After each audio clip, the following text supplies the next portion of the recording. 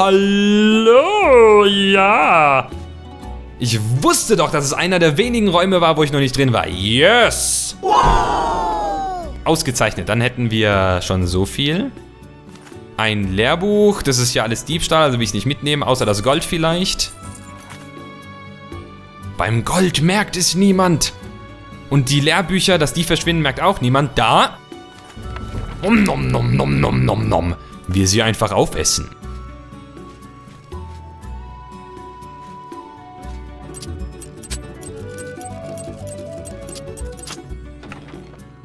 So, noch ein bisschen Gold.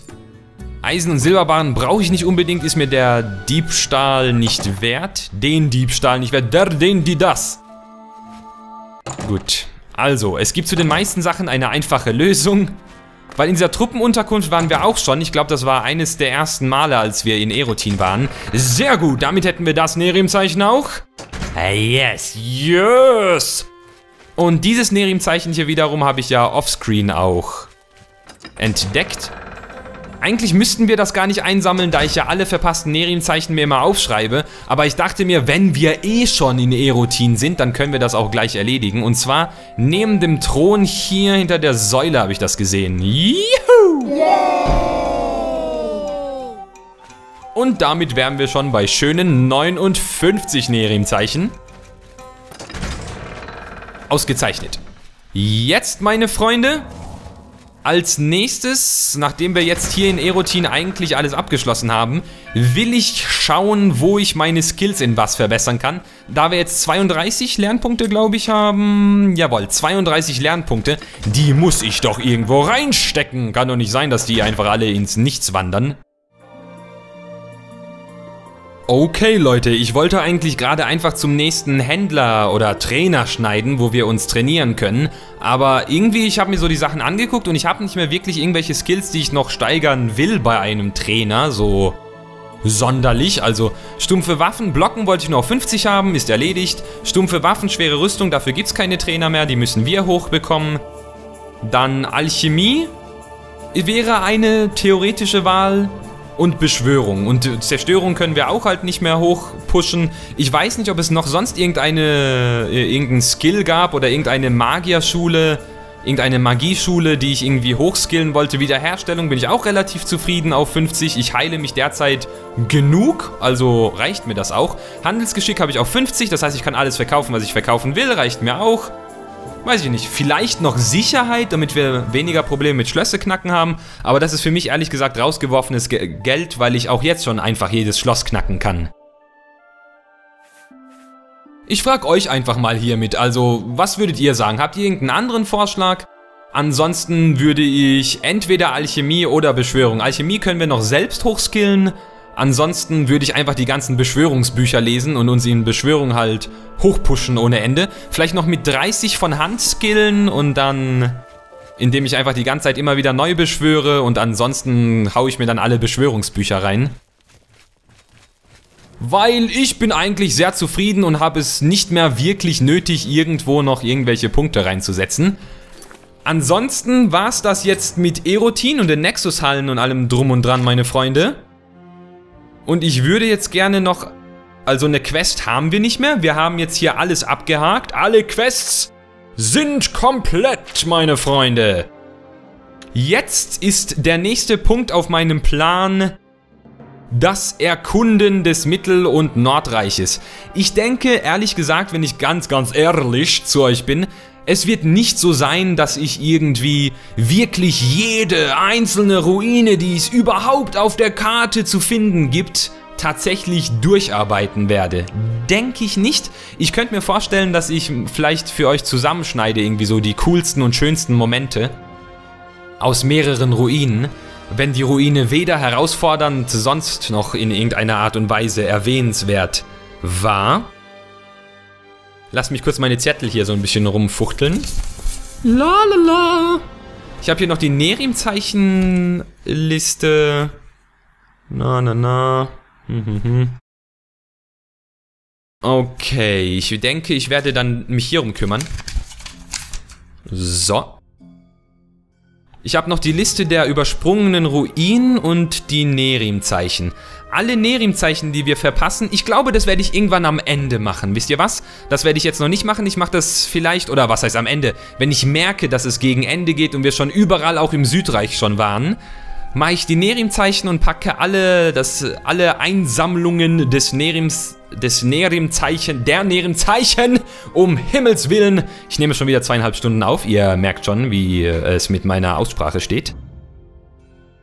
Und ansonsten bei den geskippten Ruinen... Genau, also. Meine Freunde, da im Mittelreich haben wir nicht mehr so viel. Aber ich würde sagen, Kloster von Pandorn, hier. Wir reisen jetzt dahin. Ich glaube, ich erzähle euch einfach meinen Plan, während wir hinreisen. Ich guck mal, gab es in Ledur einen Teleportationspunkt? Ich glaube schon, oder? Ach, ich kann sogar mittlerweile, weil ich Wiederherstellung so hoch habe, kann ich auch Wohltat Rang 5 mittlerweile reinhauen. Ich glaube, ich habe vor kurzem irgendwann das hier bekommen. Ledur, Ledur. Nein, ich habe kein Ledur. Schade.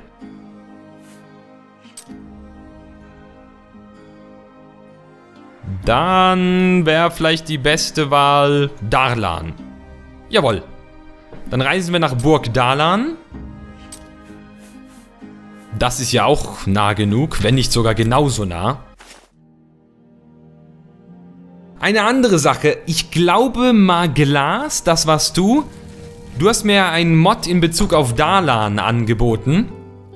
Ich habe übrigens immer noch nicht nachgeguckt, was der Konsolenbefehl ist für das Entfernen von Objekten, auch für die Leichen hier. Und ich denke, ich kann es jetzt so ein bisschen schon verraten. Oder soll ich es verraten? Ich weiß es nicht. Vielleicht soll ich mir es eher für eine äh, Überraschung aufsparen. Ach übrigens, als ich später ein weiteres Mal hier in der Burg war, dann hat die Statue plötzlich gestimmt. Ich stand einfach nicht nur gerade da, sondern ja, mit ausgestreckter Waffe und einem Schild, das ich glaube, ich gar nicht getragen habe. Bei der Eroberung hier. Da hat mir scheinbar dieses Tischschild einfach übernommen. Aber na gut. So, was ich auch noch kurz machen wollte, meine Freunde, ich habe noch drei Teleportruhen. Ich würde dann einfach mal... So, und noch eine. Machen wir uns noch drei Stück oder so. Ich teleportiere mich ja jetzt nicht so oft hin und her, von daher wird mir das schon reichen.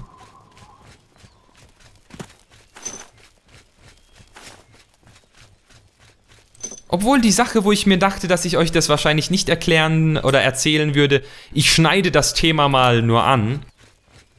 Und zwar hier, wegen Darlan. Ich habe ja schon mal erwähnt, dass der liebe Maglas einen Mod für Darlan gemacht hat.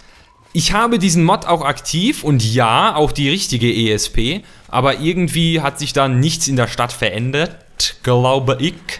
Glaube ich aber ich bin mir nicht sicher. Könnte auch sein, dass ich die Veränderung nur übersehe, aber so wie es jetzt dort aussieht, sollte es eigentlich nicht aussehen. Soweit ich weiß zumindest.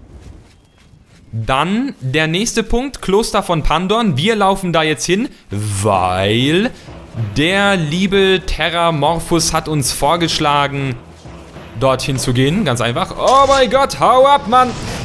Du hast die Krätze!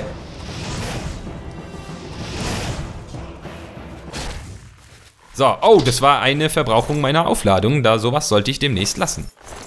Mmm, lecker, verfaultes und kränkliches Wildbret.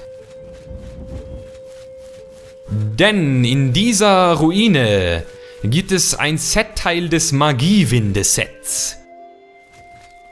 Ihr wisst ja, ich habe es ausprobiert, war nicht so begeistert, aber angeblich, wenn man alle Setteile zusammen hat, oder vielleicht fehlt mir auch nur noch hier das das hier, ne? Das ist doch Pandon, oder? Ich sehe so ein bisschen daneben aus. Nein, sieht gut aus. Klosterbrauerei. Oh. Und wenn man alle Teile hat, dann hat man angeblich eine Magika-Regeneration, die nicht von dieser Welt ist. Jetzt schauen wir mal. Ah, ich hänge fest. Blöde Treppe. Eine Klosterbrauerei. Wie sieht denn aus? Oh mein Gott, Spinnen und alles. Au, Jesus. Oh, man. Hallo.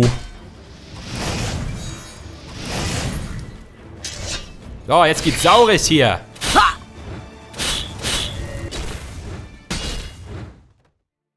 So, Gott.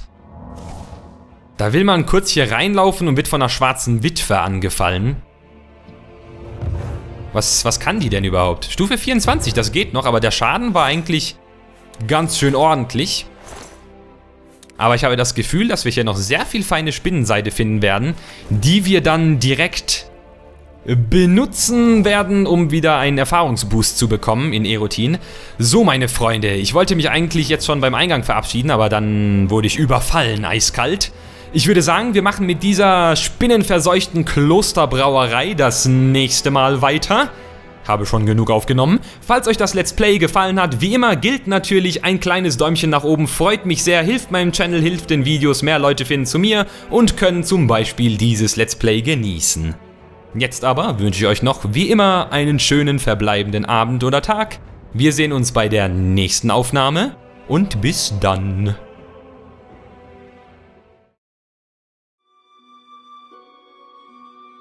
Willkommen zurück, meine Freunde, zu einer weiteren Aufnahme in Erim. Dieses Mal geht es hier directo mundo im Anschluss weiter hier in dieser äh, wunderschönen Spinnenhöhle, auf die wir uns natürlich schon so super gefreut haben. Yay, mit Zombies weiter hinten drin. So wie es sich für jede gescheite Höhle, wo man am liebsten sofort gleich wieder rausrennen wollen würde, gehört. Gott. Ich hasse Spinnen. Und dann gibt es noch hier Räume, wo überall irgendwelche Kokons von der Decke hängen. Geht mir bloß weg.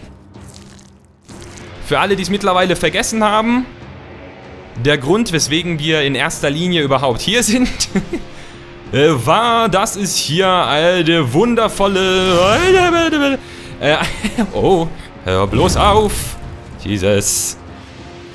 Das Magiewinde-Set-Teil oder eines der Magiewinde-Set-Teile oder das letzte Magiewinde-Set-Teil, ich bin mir nicht sicher, geben soll. Und ich bin schon sehr gespannt und möchte das auf jeden Fall einstecken damit wir mal gucken können, wie hammergeil denn diese Regeneration sein wird. Ja, noch so ein Vieh. Ich weiß zwar nicht, wie das Vieh da... Ich möchte auch da hinten rum. Muss ich ganz außen rumlaufen? Nee, ich kann da gar... Nein! Du Mistvieh. Er will mich gar nicht da nach hinten... Ah, da ist eine Kiste. Ich muss irgendwie da nach hinten kommen.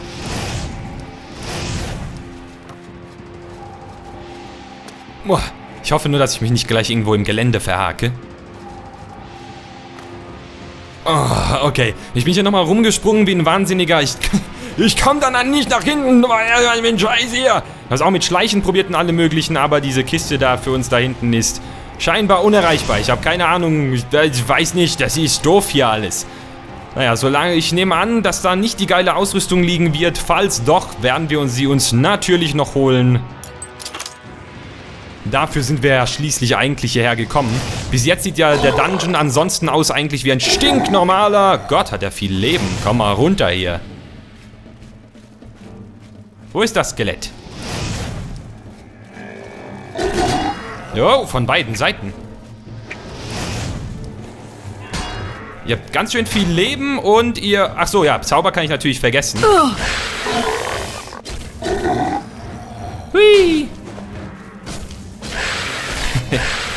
This is fun. So. Jetzt bin ich zwar fast tot und ich wundere mich, warum machen meine Zauber keinen Schaden? Ja, meine Freunde, das ist kein Wunder, wenn ich meine ganze Ausdauer vorhin beim Rumhüpfen verbraucht habe. Topaz, Schildwall, Genesungstrank, immer alles her, immer alles her. Hier, ranzige Wasseratmungstränke. Dafür loote ich also. Die ganzen Kisten hier. Das lohnt sich gar nicht. So, hier geht's wieder zum Eingang. Das ist mir egal. Uh, so creepy. Nein, aber ähm, diese Höhle ist jetzt in diesem Fall gerade nicht so besonders designt, muss ich sagen. Von daher Ja, macht schon ein bisschen mehr Schaden. Nur schade, dass ich wirklich mit, äh, ne? Oh, nice. Fast ein One-Hit war das sogar. Nur schade, dass bei Untoten Feuer natürlich der effektivste Zauber ist, sonst würde ich ein bisschen wechseln. Das bringt mich auf ein interessantes Thema, wo ich durch Freezy draufgekommen bin. Und zwar, ja, Berserkerhelm, meh was wir so machen könnten in Enderal, was wir da für eine Klasse zocken könnten. Und ich habe mir natürlich schon Gedanken dazu gemacht, äh, schon bevor irgendetwas zu Enderal angekündigt wurde, also was für Klassen es geben wird, was für Möglichkeiten es geben wird. Da habe ich schon alles vorher gewusst, was ich spielen werde. Weil ihr wisst ja, ich gehöre nicht zu, nicht zu den Leuten, die irgendwie in jedem Let's Play immer exakt die gleiche Klasse spielen, die gleiche Rasse. Oh, das sieht ungesund aus. Ich glaube, seine Vorfahren waren Termiten. Ihm scheint der Tisch zu schmecken. okay, der Braumeister. Handschuhe der Nord Nord Nord Nord Nord Nordkönige, sehr schön. Könnten wir sogar theoretisch ausrüsten, habe ich jetzt aber erstmal nicht nötig. Robe der Magiewinde, dafür sind wir eigentlich gekommen. Ausgezeichnet. Nordisches Großschwert der Absorption. Super. Und ja, wie gesagt, andere spielen oft das gleiche. Ich bin jemand, der jedes Mal was anderes spielen will. Und yay! So, damit wäre auch das abgehakt. Ich habe in Oblivion den Charakter, den ich nur einmal bei Folge 100 von äh, dem Let's normalen Oblivion Let's Play vorgestellt habe, da habe ich ja gezeigt, dass ich einen Krieger gespielt habe und der konnte wirklich nichts anderes als einfach nur mit einer Waffe draufhauen. Der, der hat nix, sonst nichts anderes drauf gehabt. Das heißt, einen normalen, stinknormalen Krieger werde ich jetzt nicht mehr zocken. In Nerim habe ich eine Mischung aus Kriegerin und Magierin gezockt. Also stinknormaler Kriegerin mit Schild oder jetzt gerade Zweihandwaffe und ja. Noch was. Ja, Kampfmusik hier. Habe ich die Spinne angezogen vom anderen Raum nebendran oder was?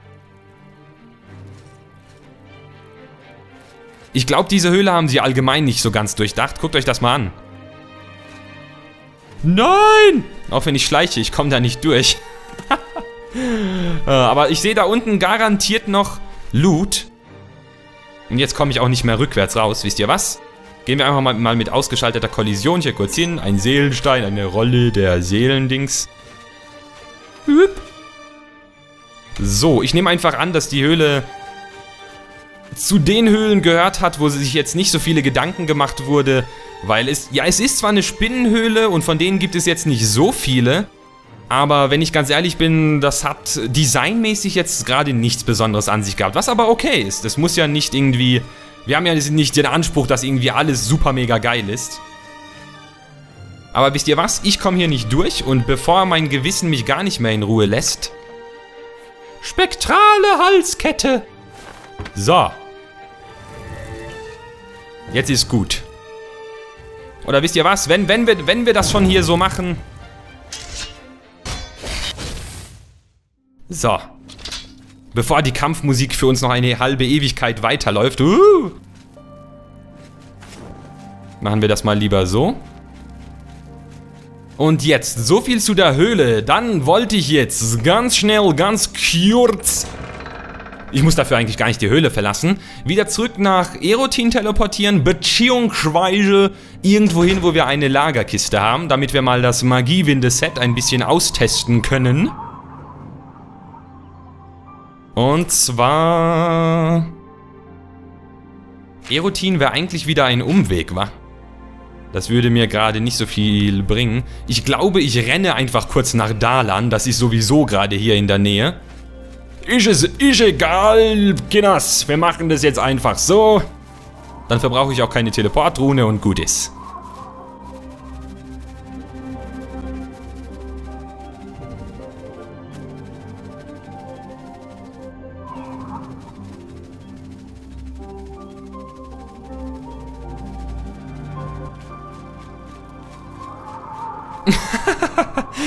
Ihr das gerade gesehen? Meine Statue. wie sie noch im Nachhinein sich zurechtgezuckt hat. Jetzt hat sie eine Mischung aus Axt und Fackel in der Hand. Das sieht irgendwie geil aus. Auch wenn es ein Bug ist. Aber nice. Tada! Sie sieht jetzt aus wie irgendeine Artefakt-Axt. So. Ich weiß jetzt nicht, ob in Dalan schon vorher irgendwo eine Kiste gewesen wäre. Ist auch egal. Jetzt kann ich mich gleich mal darum kümmern und versuchen, den hier zu löschen. Einige von euch haben mir nämlich den Tipp gegeben, Disable. Nice. Und er ist nicht nur unsichtbar, ich kann hier auch wirklich über diese Stelle laufen, ja? Das ist nicht irgendwie so, dass ich hier den Disable und er eigentlich nur weggeschaltet wird. Sehr gut. Dann machen wir hier so einen auf äh, Putzkommando. Aufpassen, dass ich die richtigen Personen anklicke, weil sonst haben wir ein Problem, wenn ich irgendjemand anderes weglösche. So, Soldat ist Mittelreich. Hiss. Mittelreich Hiss. Dann wollen wir zumindest mal hier meinen eigenen Thronsaal so ein bisschen aufräumen. So, ausgezeichnet. Draußen werde ich das auch noch irgendwann machen, vielleicht gleich, aber das schneide ich dann raus. Jetzt haben wir erstmal hier den wichtigsten Teil, schön sauber. Achso, ich weiß gar nicht, ob ich das schon letzte Aufnahme gesagt habe, ich sag's einfach nochmal. Äh, Maglas, wie du gesehen hast, äh, dein Mod hat nicht so ganz funktioniert. Ich weiß nicht, woran das liegt. Vielleicht habe ich dir auch schon eine PM mittlerweile geschrieben, ich weiß es nicht. Aber es geht nicht so genau. Die Datei ist zwar aktiviert, aber irgendwie möchte das nicht. So, dann wollen wir mal die Haube, die Stiefel, der Stab, der Stab. Ich weiß gerade gar nicht, was es noch alles so in dem Set gab. Können wir vielleicht hier den Stab fallen lassen, wenn ich den nochmal aufhebe? Nein, dann kriege ich nicht nochmal die Meldung, hey, so und so viele Teile. Ach übrigens, ich habe hier so einen kleinen Mod installiert, dass die markierten Items so ein bisschen rollenspielerischer und cooler zum Interface passen. So, ne, hier so in äh, beige. Sieht ganz cool aus, die Umrandung jetzt. Der ausgerüsteten Dinge. Voll geil, Mann. Magika wiederherstellen, sieben Punkte an sich selbst hat allein die Robe, die wir gerade gefunden haben. Oh, cool. Okay, sieht besser aus als erwartet. Noch die Stiefel, dann hätten wir 10 Punkte wiederherstellen. Die Haube, dann haben wir 12 Punkte wiederherstellen. Drei Teile Bonus erlernt. Ein Magie widerstehen, aha, aha, aha.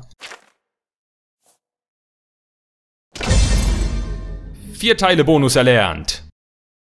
Vier Zauberabsorption. Extra Bonus durch komplettes Set. Woo!